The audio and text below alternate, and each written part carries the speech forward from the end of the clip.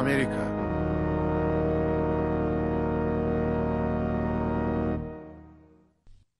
...1620. Mayflower gemisi İngiltere'nin güneyinde bir rıhtımda. Püritenler Birleşik Eyaletlerin ortamına alışmakta zorlanırlar ama yine de iyi ağırlanırlar. Ve kendilerini tam bağımsız hissetmedikleri için Amerika'nın Virginia bölgesine göç etme kararı alırlar.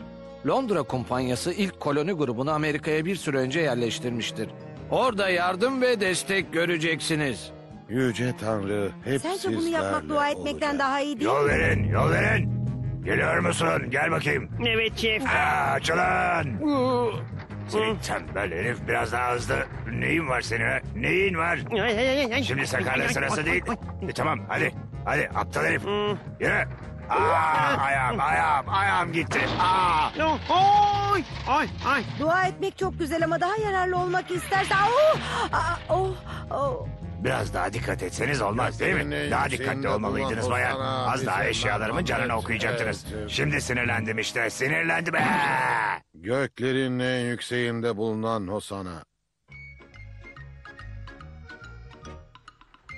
Bu gemi asla hepimizi almaz. Hadi çabuk ol, çabuk ol, çabuk, çabuk, çabuk, çabuk. Gemiyi kaçıracağız. Acele et. Acele et. Ama biz sizden önceyiz. Sana kim öndeymiş Benim göstereceğim. önüme geçemezsiniz. Aa, şimdi kızacağım ama. Aa. Herkes sırasını bilsin. Bu gemi hepimiz Ne birden almaz. olmuş? Bırak da geçeyim. Aa, o, ha, elbette, elbette. Buyurun lütfen. Tamam, birinci sizsiniz. E, şu tarafa gidelim. Merhaba Speedwell. İkimiz için de yerin var mı? Bir parçada eşya var. İşte karşılığı. Gelebilirsiniz. ay, ay, ay, ay, ay. Dur, dur, dur. Bekle, bekle. Aa, o, ay, ay. Aa, eşyalarım. Oy, ay. Deniz çok dalgalı. Ay, eşyalarım. Hemen geri dönelim. E, e, e, e, kaptan. Limana kaptan. geri E, dönüyoruz. Eşyalarım gitti kaptan. E, e, kaptan ne yapıyorsunuz böyle? O halde kanoya Ee, binin. E, Amerika'ya, Amerika'ya kadar. Hayır değil. Mayflower'a kadar. Pekala. Çabuk buraya gel. Bekle, bekle. O kadar çabuk değil. Asıl şeyi unuttun. Kasalarım. E, Pekala şef. Gönderin hemen. Aa,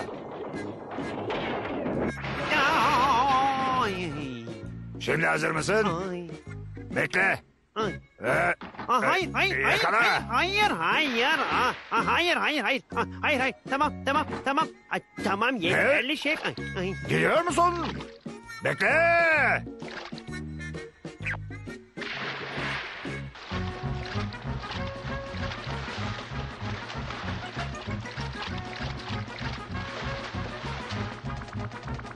Beni bekle. Ay ay ay ay.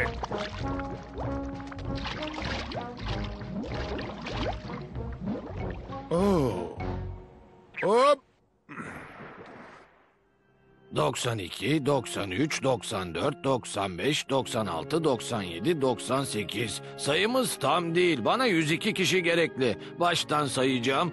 96, 97, 98, 99, Ay, e, 92, 93, 94, 95, 96, 97, 98, 99, e, 100, 101 ve 102. Sayımız tamam. Hepimizin selameti için sana yalvarıyoruz. Amen. Bu kez hesap tamam. Mayflower kaderine doğru yelken açabilir. Mayflower'a binen pilgrimlerin gittiği topraklar eşsiz bir ülke. Milattan 30 ya da 40 bin yıl önce Amerika yerlilerinin öncüleri Sibirya'dan kalkıp uzun bir göçe başladılar ve bu uzak kıtaya kadar geldiler. Bazıları Patagonya'ya kadar ilerledi. Bazıları da kuzeydeki büyük göller bölgesine yerleşmeyi tercih etti. İçlerinden bir milyonu Avrupalılar geldiğinde orada yaşıyordu. Merhaba güzel kız. Eşlik edebilir miyim?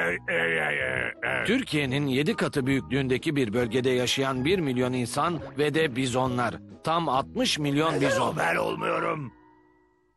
Bizonlar yerlilerin neredeyse her tür ihtiyacına cevap verir.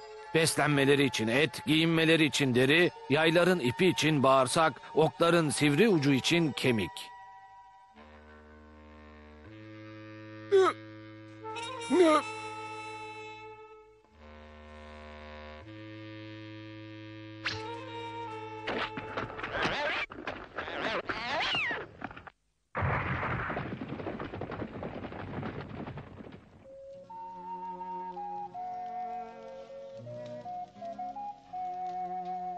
Merhaba. hadi ateşin yanına gel. Bu arada buraya yakın büyük gölde büyük bir geminin geldiğini gördüm. İçinde beyaz insanlar vardı. Ne demek beyaz insanlar? Evet, derileri beyazdı. Hadi anlat bize, anlat bize. Nasıl görünüyorlar? Bizim kadar güçlüler mi? Belki de çok küçüktürler.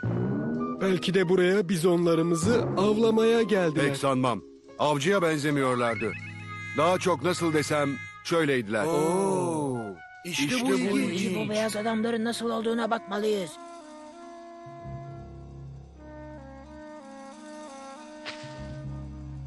Ah tanrım çok ağır.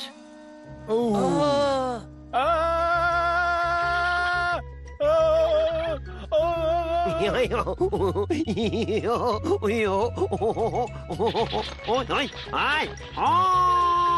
Ay ay ay ay ay ay ay ay bu hayvanı bize şeytan gönderdi. Hayır hayır onu bize gönderen Tanrı'dır. Ona sadık olanların en büyük tatmini için. Ah,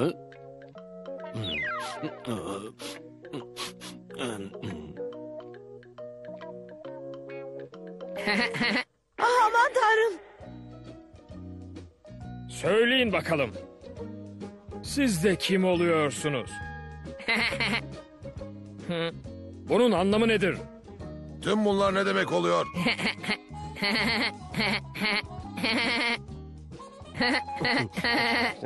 Çok açık. Bu veletler birer vahşi.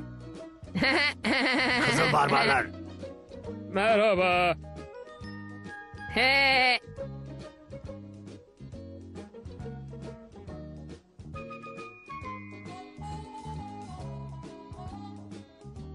Bakın, Hayvan derisi veriyorum. İşte. Oldu mu? Ondan iki tane iste. Hı? Hmm, Ona bir tane tarak vereceğini söyle. Evet. Hmm. Bu nasıl? Oo, hayır. Ben bir kadın değilim. Kasım 1621. Bugünlerde yapılan şenlikler Şükran Günü'nün de temelini oluşturacaktır. Şenliğe 90 yerli katılır. Hadi Bu sana- kardeşlikten sonra kurulan ortak dil 10 bin yıllık uygarlığın ayırdığı bu iki kültür arasındaki güçlükleri kaldıracaktır. Buraya gel. Birinin fethe duyduğu iştah, diğerinin kaba kırsal karakteriyle örtüşecektir. Amerika yakında yayılmayla tanışacaktı. Aslında Mayflower'dan çok önce Amerika kıtasını başkaları da ziyaret etmişti. 10. yüzyılda Kızıl Erik komutasındaki Vikingler gelmişti. 12 Ekim 1492'de Kolomb'un keşfettiği aynı Amerika bazı yanılsamaları da yaşayacaktır. Öncelikle Kolomb Bahamalardaki Salvador adasına çıkmıştır. Marco Polo'yu ilham alan ve Hindistan'ı keşfettiğini düşünen Kolomb buradaki yerlilere Hintliler diyecektir. Birkaç yıl sonra dünyanın bu kısmına tam olarak ne ad verileceği bilinmediği için buranın keşfi Americo Vespucci'ye mal edilir.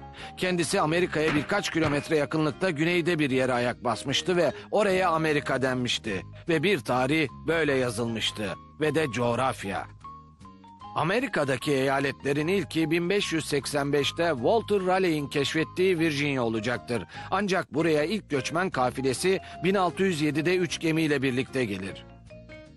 13 yıl sonra da bu kez aynı amaçla Mayflower gemisi yola çıkar ve aynı yıl Kod burnuna ulaşır. Aa, Güneye doğru gideceğiz anlaşıldı mı? Neden? Burası son derece verimli görünüyor. Burada demir atacağız. Kaptan bir daha tekrar etmeyeceğim. Hemen demir alın gidelim. Evet ama yani şey... Yeter artık yeter yeter. Ya. Beni dinlemeyecek misin ha? Yeter bıktım diyorum gidelim buradan. Ah, ah, ah, ah, ah, ah.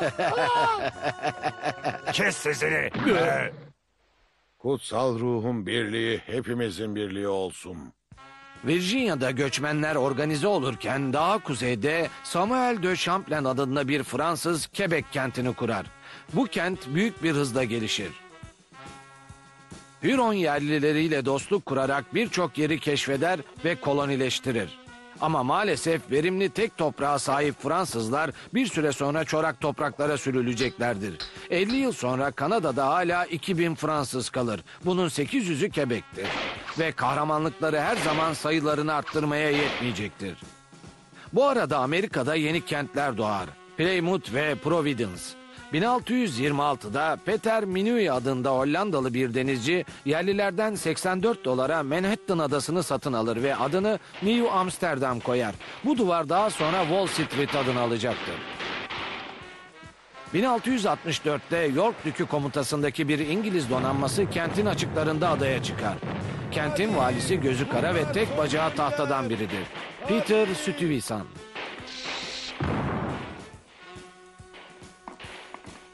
Hadi! Şef, cephane kalmadı. Yetersiz cephane nedeniyle Peter Stuyvesant kenti teslim eder. New Amsterdam artık New York olur. 1663'te Carolina kurulur. Pamuk ve toprak sahibi aristokratlar ülkesi. Gördüğünüz gibi mallarımız kaliteli. 1665'te New Jersey kurulur ve hızla gelişir.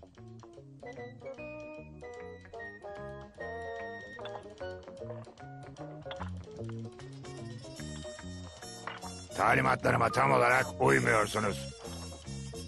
Burada her kafadan bir ses Ay. çıkıyor. He? Ay, ay, Ay, ay, ay, ay. Aa, aa. Ay, ay, ay, ay. Oh, Ay, 1681'de herkesin güvenini kazanan genç William Penn, Kral II. Charles tarafından geniş bir bölgenin sahibi ilan edilir. Pensilvanya. Kaynaksız yoksul İngilizlerin kabul edildiği bir başka bölgede 1732'de Georgia eyaleti kurulur. Kölesiz ve alkolsüz belki de daha etik bir eyaletti. En azından başlarda. Tüm koloniler neredeyse tesadüfi şekilde büyür. Tesadüf, iklim, doğa ve bireylerin karakteri her şeyde karar verici olur. Ancak tüm bu kolonilerin bir araya gelip büyük bir birlik kurması için henüz çok kat edecek yolları vardır. 13 koloni yüzde 300 kilometre genişliğinde bir arazi boyunca kıyıda sıralanır. Daha da genişlemeleri için yerlilerle karışmak zorundadırlar. İlk başta her şey yolunda gider. İşte Harika. Topraklarınızın bir kısmını bize satın. İyi para veririz. Ha, evet. topraklarımızı mı istiyorsunuz? Hmm, bir dakika. Tamam mı? Ha.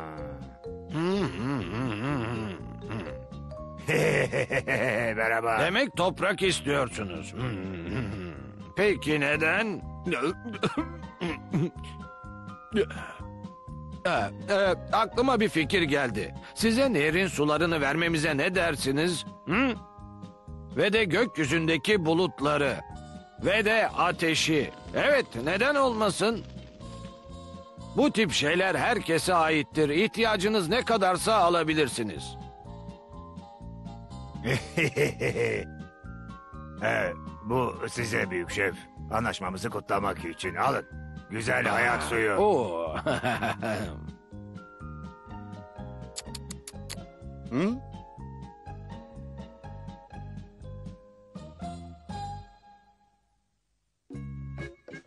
İşte bu kadar.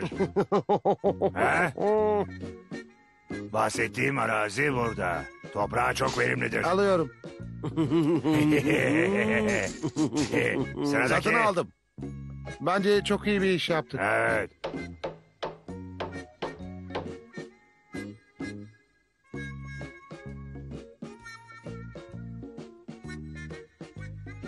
İşte geliyor beyler. O duvarlar niçin? Bizi soymasınlar diye. Bizi soymasınlar diye. Aa, aa, aa, aa, aa, Gel buraya. aa, aa. Hadi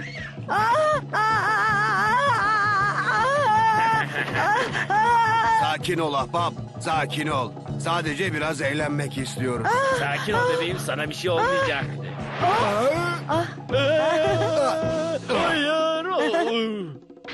Hey! Yerli kızın konuşmaması gerek.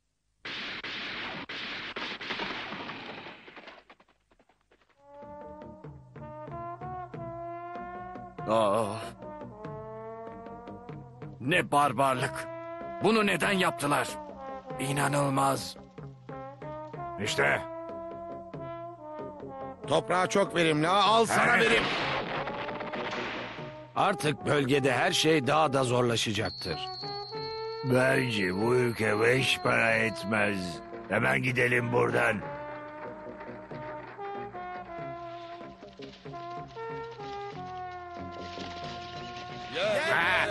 Tek bir tanesi bile yaşamamalı. 1760'da Avrupalıların sayısı 1,5 milyondur. Ancak bu rakam çok çabuk katlanacak. New York, Philadelphia ve Boston şimdiden 200 bin kişiyi barındırıyor. Çalışkan bir orta sınıf her anlamda yeniliğinde habercisidir. 7 yıl savaşlarından yorgun çıkan Büyük Britanya kolonilerinden vergi almaya karar verir. Koloniler aynı ve nakdi vergi ödemek zorunda. Londra önce geri adım atar ama sonra Devam etmek için çay vergisi alınmasını öneriyorum. ve oylamalar sonucunda çaya vergi konulması kararı alınır. Hadi tüm çay kasalarını denize atın. 1773'te yerli kılığına girmiş 200 özgürlük yandaşı bir gemiyle gelen ve vergiye bağlanan tüm çayı denize boşaltır. Bir yıl sonra Philadelphia'da kolonilere ait ilk kongre gerçekleşir ve şunlar söylenir. İnsanların mülk edinme hakları vardır ve hiçbir güce devretmek zorunda değillerdir.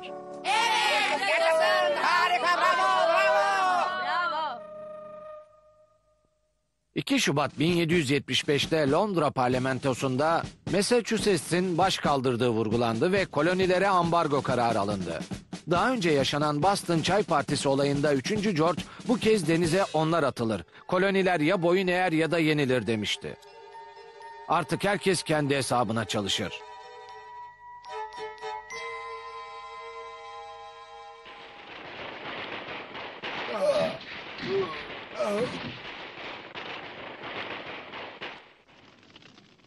İngiliz birlikleri üzerimize ateş açtı. Herkes görevini yapmalı. Boston'daki İngiliz birliklerine kumanda eden General Gage henüz farkında değildir ama bağımsızlık savaşı çoktan başlamıştır.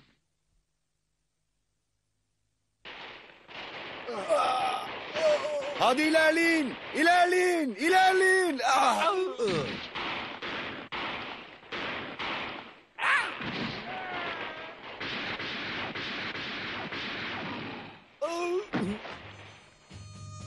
Asiler tam olarak ne istiyordu? Aslında özgürlüğün tadını alana dek bunu kendileri de bilmiyordu.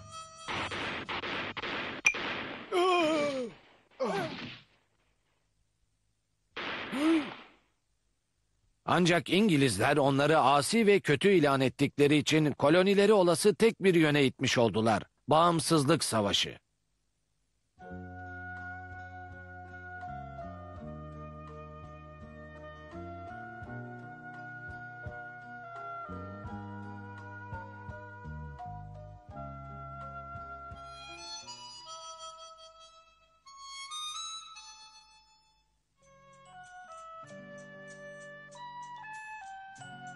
Ben İngilizlerden İngilizler yanayım. elimizden her şeyi fikirlerimi aldı. açıkça söylüyorum. O bayım. halde siz Fikir özgürlüğünü unutuyorsunuz galiba. Vergi toplayıcısı. Dostlar ve aileler üç kampa bölünür. Vatanseverler, İngilizciler ve kararsızlar. Ha? Ee, Pekala. Madem hemfikiriz. Ha? 15 Haziran 1775'te George Washington Amerikan birliklerinin başkomutanı ilan edildi. Asilerde her şey eksikti. Öyle ki Franklin ok ve yaylara geri dönülmesini bile önerdi. İki gün sonra 17 Haziran'da Bunker Hill baskını gerçekleşti. Ateş!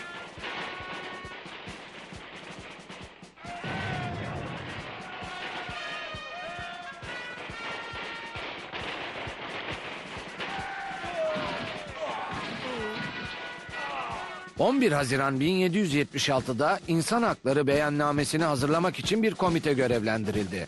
Komitede Franklin, Sherman, Jefferson, Livingston ve John Adams vardı. Metin şöyleydi. Tüm insanlar eşit yaratılmışlardır. Yaradanları tarafından bağışlanmış belli bazı vazgeçilmez haklara sahiptirler. Yaşam, özgürlük ve mutluluğa erişme hakları da bunların arasındadır. Bu hakları güvence altına almak amacıyla insanlar kendi aralarında yönetimler kurarlar. Silahların kaderi her zaman asilerin yararına olmayacaktır. İngiliz General Howe, bağımsızlık bildirgesi yürürlükten kalkmadıkça görüşmeleri reddeder. 17 Ekim 1777'de İngiliz birlikleri Saratoga'da bozguna uğrar. Bu anda Fransa 7 yıl savaşlarının rövanşını almanın tam vakti olduğunu düşünür. Franklin'le müttefiklik anlaşması imzalar. Ardından önce Lafayette, sonra da Rochambeau'nun birlikleri çatışmaların tam ortasında yerlerini alırlar. 19 Ekim 1781'de İngilizler Yorktown'da bozguna uğratılır.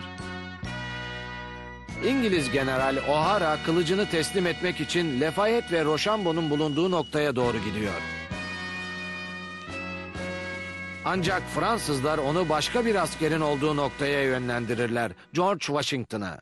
1783'te bağımsızlığı tanınan Birleşik Devletler topraklarını hızla genişletecektir. 1803'te Louisiana Fransa'dan alınır. 1819'da Florida, 1820'de Maine, 1845'te Texas, 1846'da Oregon, 1848'de Kaliforniya, Nevada, Utah ve Arizona Meksika'dan alınır. İrlanda, Almanya ve İngiltere'den milyonlarca göçmen gelir ve nüfus 3 milyondan 25 milyona çıkar. Kıyılardaki kentlerde hayat daha zor olduğu için batıya doğru göç başlar. Benim arabamda bunun ne işi var ahbap? İleri!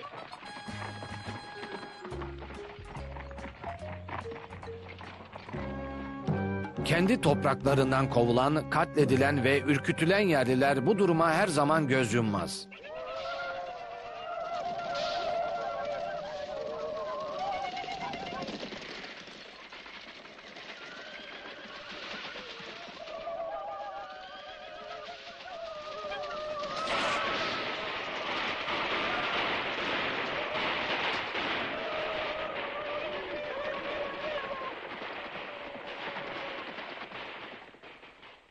...1848'de bir gün James Wilson Marshall adında genç bir adam tesadüfen bir şey keşfeder.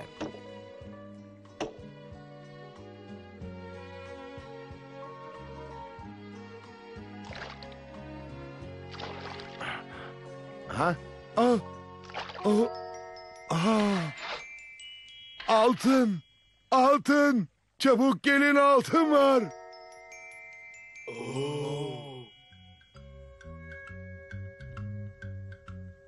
Haber bir anda yayılır ve hücum başlar. Altına hücum. Evet hücum hadi hücum.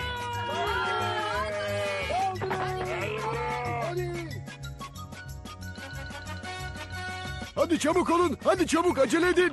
Yuhu. Ah, ah. Hadi çabuk olun. Çekilin dedim, çekilin. Aa, aa, aa, biraz dikkatli olamaz mısınız? Ee, e, pekala. Çorak topraklarda hummalı bir çalışma başlar. Oo.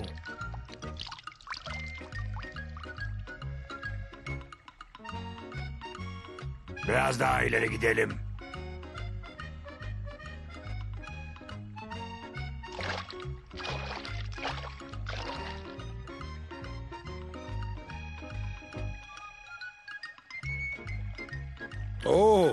Orada kocaman bir şey var. Hey, burası benim bölgem. O şey benim. Anlamadım. İşte yaşasın yaşasın. Pekala.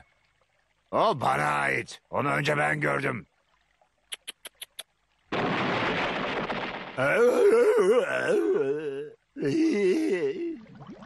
Derken güneye doğru bir akım başlar. Neredeyse Avrupa kadar büyük bir alana yayılan güneye. 6 milyon beyaz, 3,5 milyon siyahi. Asırlardır ana yurtlarından koparılan bu köleler birer eşya gibi muamele görür. Köle ticareti 1808'den bu yana yasak olmasına rağmen siyah köle ticareti hız kesmeden sürer. Maryland, Virginia'de siyahlar kölelik için yetiştirilir. Tıpkı hayvanlar gibi. Kuzeyde köleliğe karşı çıkan sesler gitgide yükselir.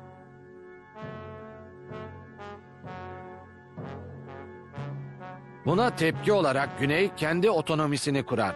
Kuzey ve Güney eyaletleri arasındaki hassas dengenin bozulması uzun sürmeyecektir. Hadi.